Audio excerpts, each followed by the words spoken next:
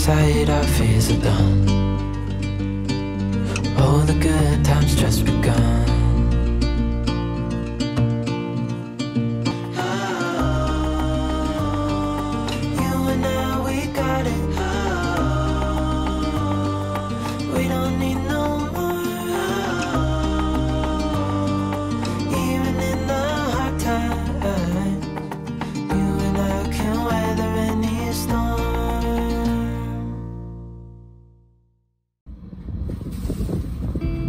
Excited to be exiting Denmark for our second country in such ideal weather, we set sail on the Great Belt Strait.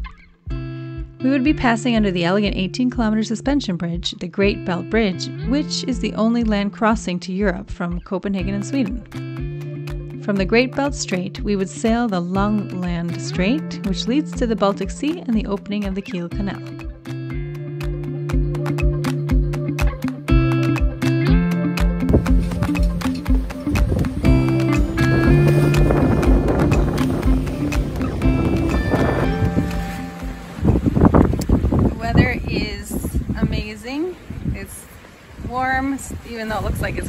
We have clothes on because of the wind. And it's sunny and we have wind in our backs, which is making this passage through the Storebælt in Denmark bearable and doable. We heard from another sailor that if we didn't have this, this wind direction, it would be almost impossible to sail through it at least if it was the opposite. But we have northeast winds, which is blowing us the exact right direction.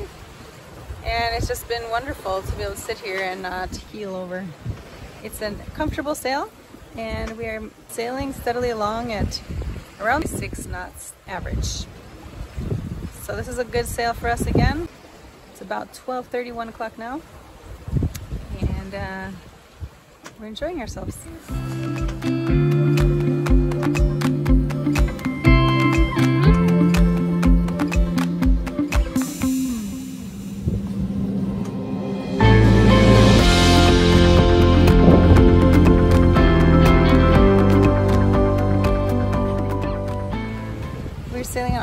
Autopilot between five to seven, eight knots. So even though it's relaxing, we still are going somewhere. We uh, figured out that if we sail 10 hours from Samsø Island in Denmark, we'll be about halfway to Kiel Canal. So around maybe six o'clock, we'll decide if we're gonna keep going or if we're gonna go overnighting to make it down to Kiel Canal. We'll see. It's a little bit of navigating here, but it's not too bad. But the, there is a shipping lane here, if you can see the ship over here, which we have to avoid. We just crossed it, so now we're on the east side of the shipping lane. Ivan's putting out this spray boom because the Genoa is hidden a little bit by this, the mainsail and it's uh, waving and whipping in the wind a little bit too much. Hoping we'll get a little bit more speed on that too. Right now we're averaging about five knots. We'd like to have more like six, seven. The first time we've used this uh. Ivan didn't manage to fasten the pole, but the winds picked up anyway, giving us the speed we wanted.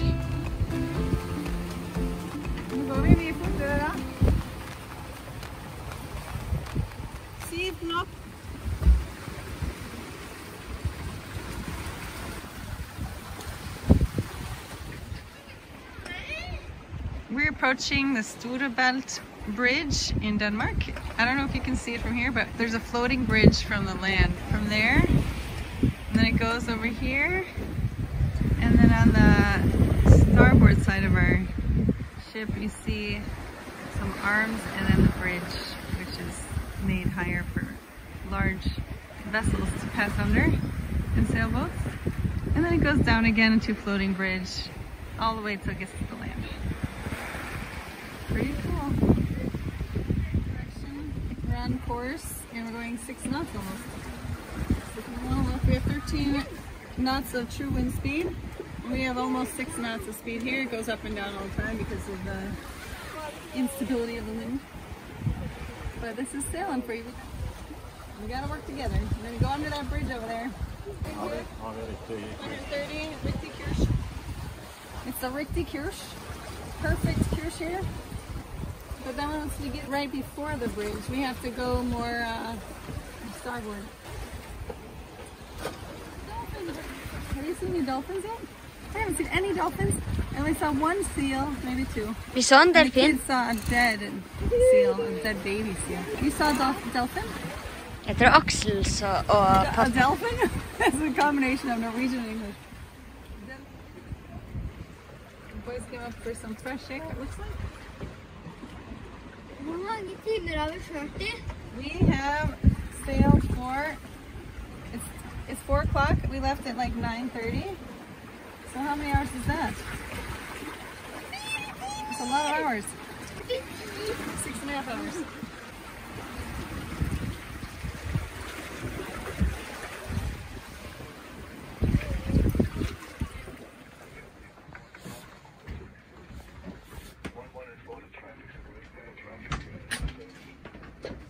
Okay, thank you for the advice.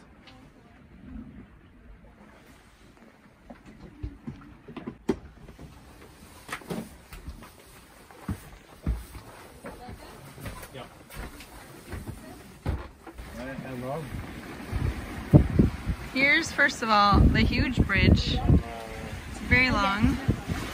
We're gonna go under it. It's 50, 65 meters high in the middle there. We're gonna go under where it's only 53 meters high because there's a humongous tank ship coming behind us. It's 400 meters long. He called us up and said, which way you guys going? We don't want to hit you. We're like, oh, it's scary.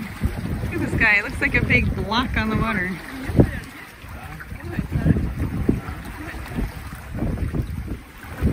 It's humongous. You don't want to be near that thing. Ja, da ble vi enige at jeg går gjennom der borte. Vi kan egentlig gå, gå fem grader ned på babord. Okay.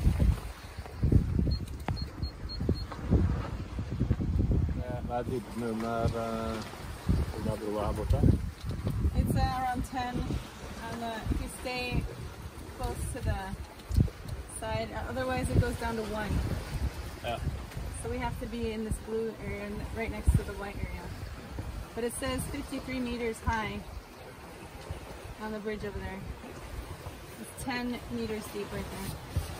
10 meters deep, 53 high. But we need to go even more forward, I think. We're going very slowly. Ja, vi går mer babord.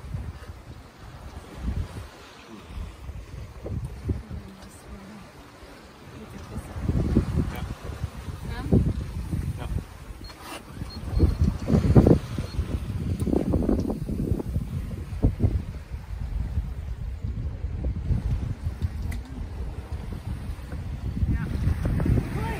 On the bridge are tiny, so it shows you how far away we are. These big buses that look like little ants.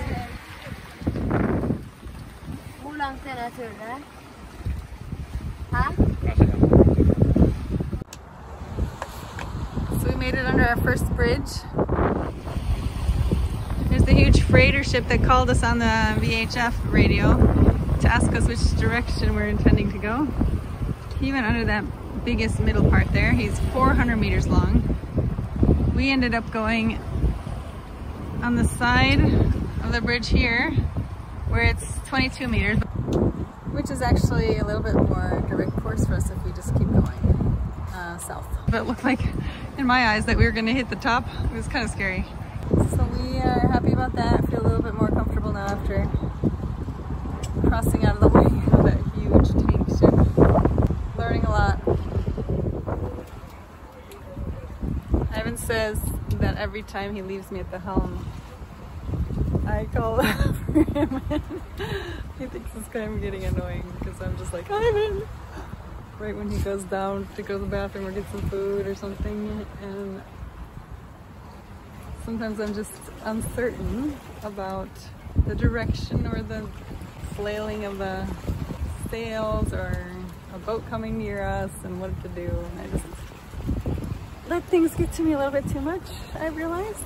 And I gotta be a little more chill.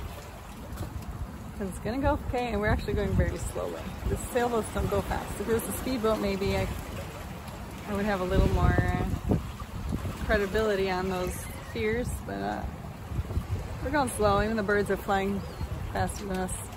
Even though we are going at six knots, which is not so bad for a heavy 11 ton boat, nine or 11. So I'm at the helm now. It's a lot more shallow over here, but it's not too shallow for us right now. The huge bridge we just went under from the island of Odense to this island, which is also part of Denmark, Sjælland. And we're here. The bridge is here all along that whole way. Now we are right there and our waypoints are plotted out for going over here, Langeland maybe, and over the sea to where the Kiel Canal is in Germany. We're upside down because north is this way. We're going down here. And then we're gonna cross the Bay of Biscay afterwards, this huge inlet, which is notorious for storms. And then we're gonna go down the coast of Spain to the Canary Islands. This is Canary Islands, yeah, they're there. Or down to Cape Verde, which is right here. And then over the Atlantic to the Caribbean is the plan. We have decided to sail through the night from Samsø to Kiel, Germany. It is 6.35 and in the evening and Ivan just went to lay down for about an hour and a half while I steer the ship by myself for the first time this trip um, because he knows me that I will not feel comfortable in this bay area navigating by myself at nighttime, especially if the wind shifts and then I have to both trim the sails and uh, make sure everything's okay in the middle of the night. So then I can help get the kids to bed and we can sail through the night. So we should be arriving Kiel in the morning. It's a gorgeous evening the sun's shining and it's pretty mild out. It's probably 62 degrees. It's about 17 degrees Celsius in the water, which is not so bad for the beginning of fall. So it's still swimmable, but I don't swim unless I'm really hot.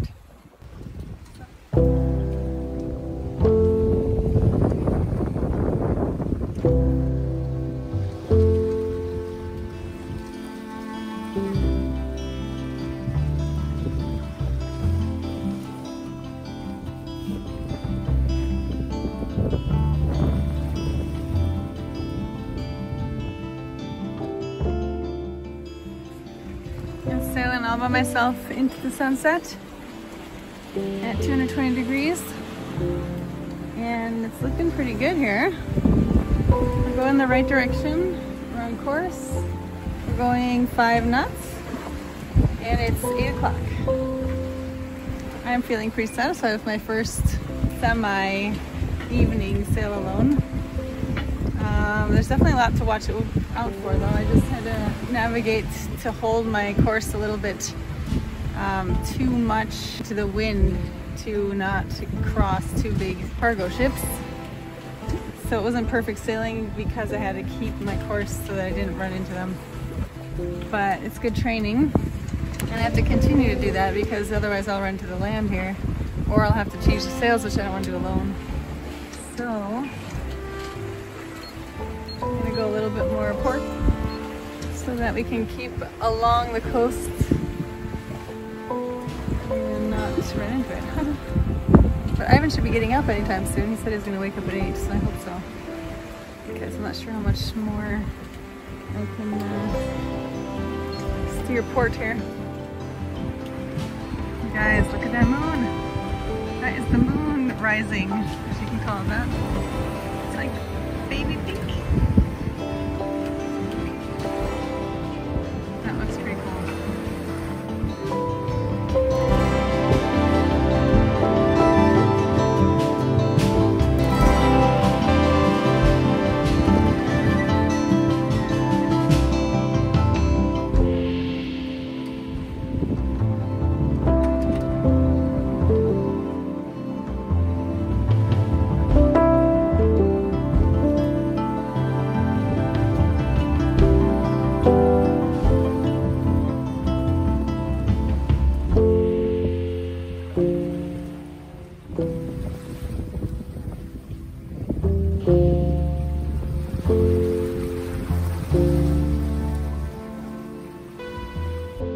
Let Ivan sleep an hour longer since everything was going so well, but he ended up taking the entire night shift. You won't hear any complaints from me.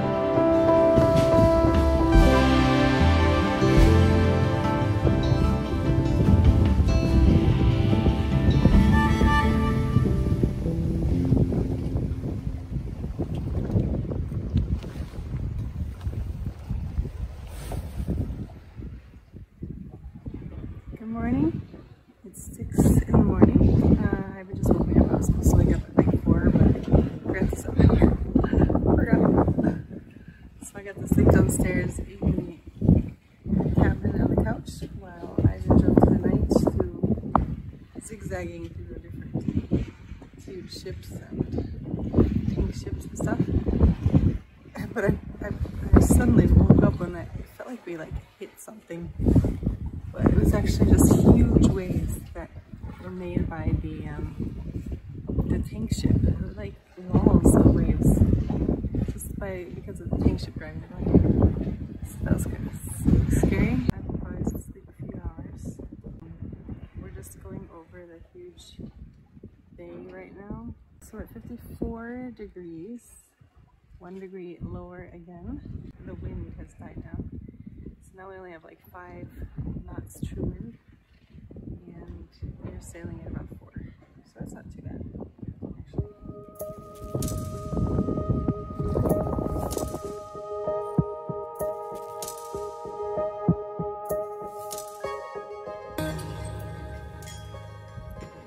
Peaceful sailing in the early hours of the morning. The wind though is variable. So I have to keep adjusting uh, the amount of wind we get in our sails. It should be around 120 degrees and it keeps going down to 140, 150 degrees. And then it starts making that sound. But other than that, it's peaceful. The boys just woke up. They're playing downstairs. Sun in my back. Quiet. There's not many other boats out here. gives you time to reflect on life, read. Actually, I'm so tired, so I'm trying to keep myself awake. Do little exercises. And hopefully it won't take us too long to get into Kiel. I'm letting Ivan sleep, even though I think we should be motoring right now. It's going only two and a half knots right now. Up to max four knots. So we're not going very fast anywhere. We will soon be driving so we can get into the port.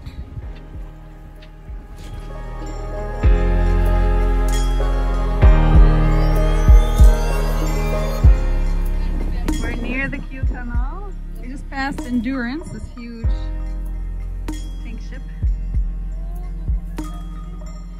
this is the place to be for sailboats. We've seen like at least 50 sailboats out here. You see in the background there? I think maybe there's a regatta. Look at all those masts over there in the harbor. Three harbors. There's a harbor right back there too.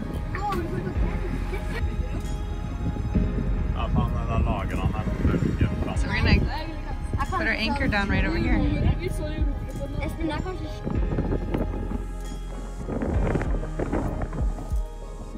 This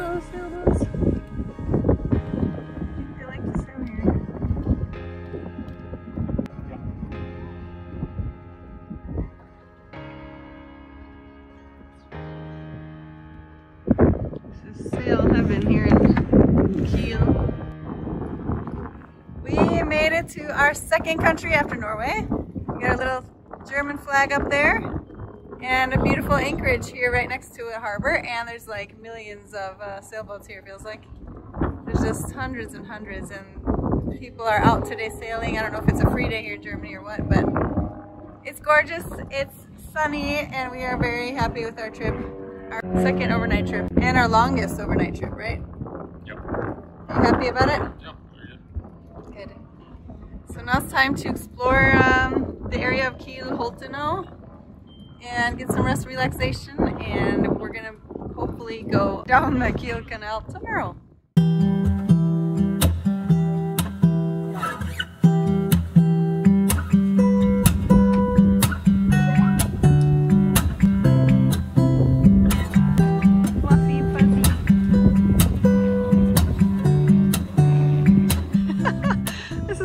most poop on it and he's got a bird to try to scare him away. Like they like the bird instead. Sa opa ka na Look up on top there too. Yeesh. Remind me not to buy a bird like that to protect from uh, bird poop. Do you like sailing? Ja. Yeah.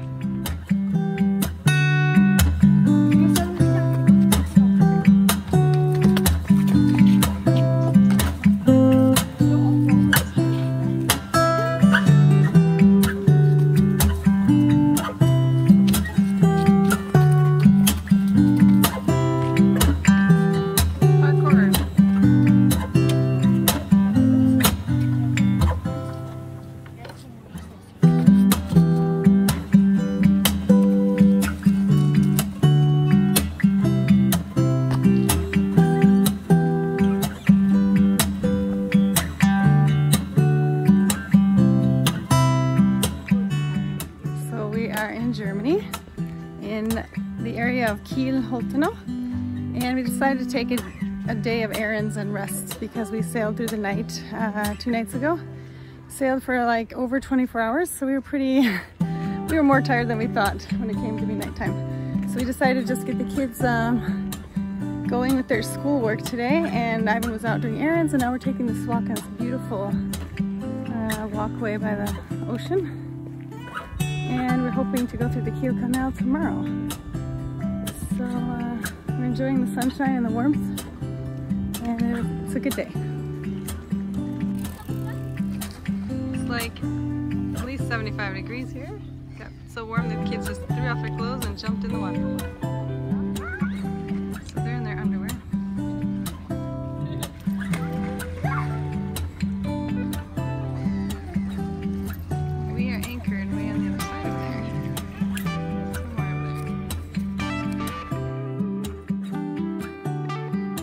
Stay tuned as we start our transit through the Kiel Canal in next episode. Thanks for watching. See you next time. And don't forget to click that bell for notifications of the next videos.